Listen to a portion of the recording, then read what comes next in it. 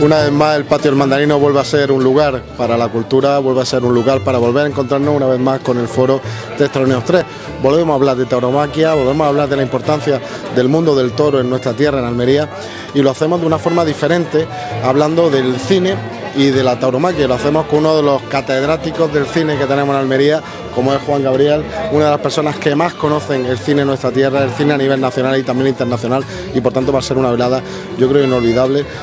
que vamos a poder compartir con todos aquellos que nos han querido Continuamos con las actividades del Foro Cultural 3 Taurinos 3 y ahora vamos a tener este coloquio con el compañero periodista Juan Gabriel, eh, que nos va a acercar también el mundo de la toromaquia dentro de lo que es el cine. Un apasionado del cine, del periodismo, que nos va a recrear pues estos momentos que se han vivido en la toromaquia y yo creo que es importante sobre todo la apuesta también de la Diputación eh, por permitirnos eh, una vez más en este lugar incomparable en la Plaza Bendicho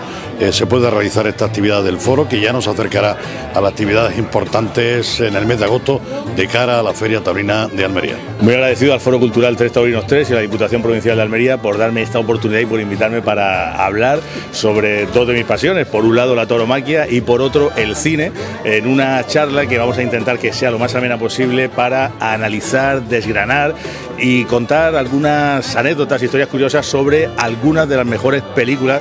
de la historia del cine que han tratado el tema de los toros. Podemos aprender mucho sobre ellas, son de diferentes épocas, desde los orígenes del cine. La primera película, de hecho, se remonta a unos pocos meses después de que los Lumière inventaran el cinematógrafo, vinieron a España y, como no, uno de los eh, fenómenos sociológicos que filmaron fue una corrida de toros. Así que desde ahí hasta la actualidad vamos a hacer un apasionante recorrido por la toromaquia y el cine y, como no, las películas de toros.